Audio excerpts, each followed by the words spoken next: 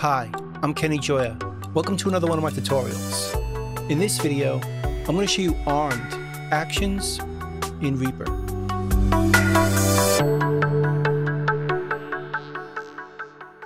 Now the idea of an armed action is basically keeping it active at all times.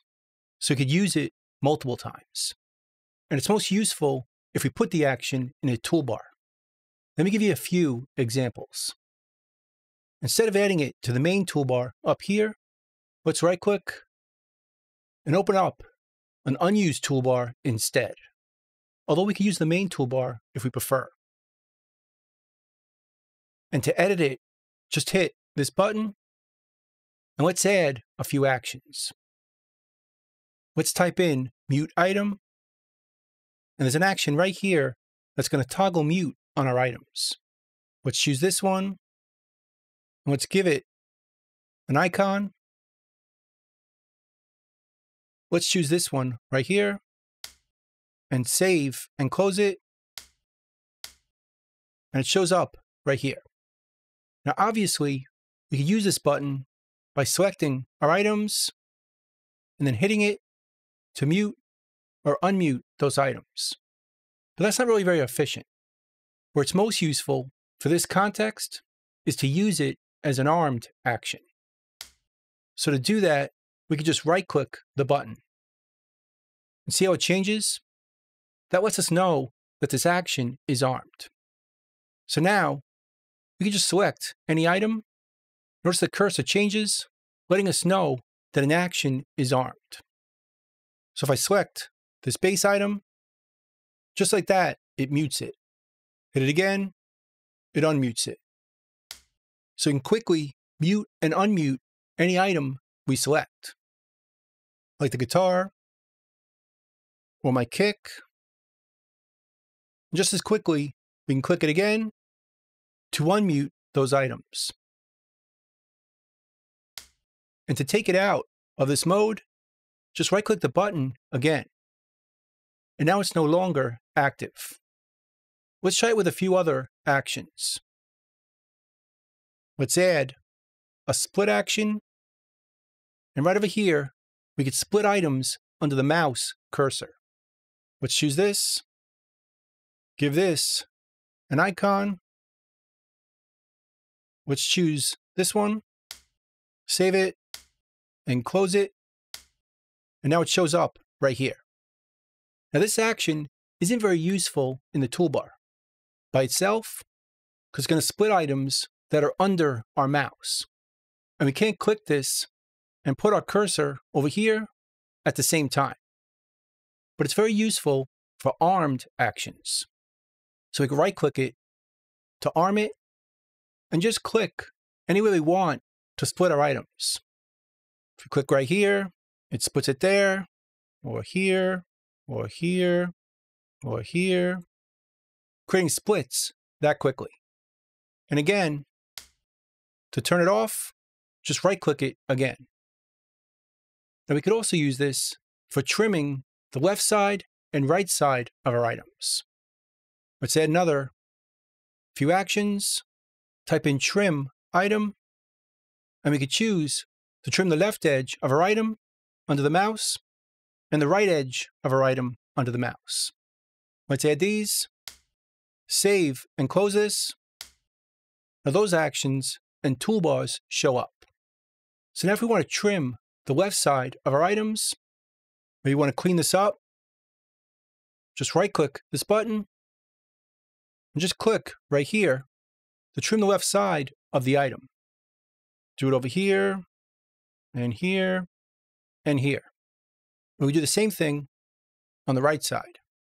Right click this button and it switches it from this one to this one and now if we click, it trims the right side of the items.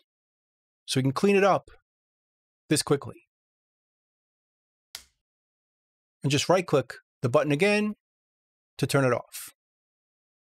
Now we could also use this in MIDI. Let's double click this MIDI item. And we can see right here that our notes aren't quantized. Now we can fix that overall by clicking over here. But let's say we just wanted to quantize some notes. We could just click on them and quantize just those.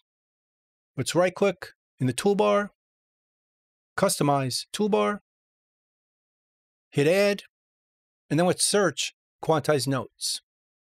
And right over here, we can quantize the note position to the grid. Choose it, save, and close this. Now we have a toolbar button that's going to do that right here. But instead of choosing the notes and clicking the button, we could right click the button to arm that action.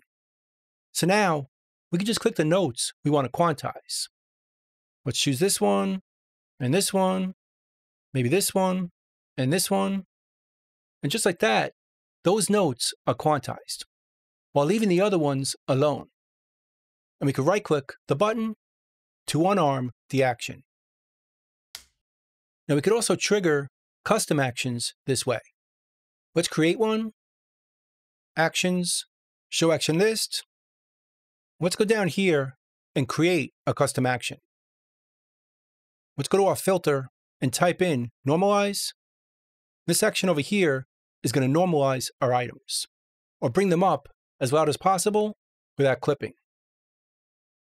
Now, when I do this, I usually prefer to give myself some headroom. So let's bring down the volume with this action. Nudge active take down 1 dB. So if you put this after this, it's going to normalize our items and bring it down 1 dB. But I like to bring it down a bit more, so let's add another. So now I'll bring it down 2 dB. Let's give it a name and save it. And here's that custom action. Let's add it to our toolbar.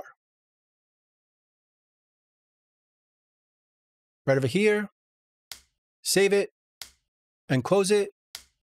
And now it shows up right here. And again, we can just choose our items like this, hit that button to normalize it and bring it down 2 dB. But instead, it's a lot quicker to use armed actions. So let's do that instead. Right click it. Now this action or toolbar button is armed. Now we can just click any item we want to normalize and bring it down 2 dB.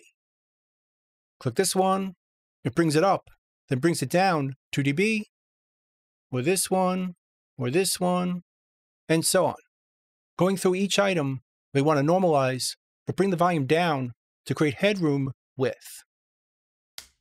And if you don't want to right click to turn this off, we could also use the escape key. Hit escape to unarm that action. As you can see, we can get as creative with this as we want. Just about any action can be armed and triggered in this way. So that's pretty much it. That's armed actions in Reaper. I hope you learned something, hope you can use it, and I'll see you next time. Thanks.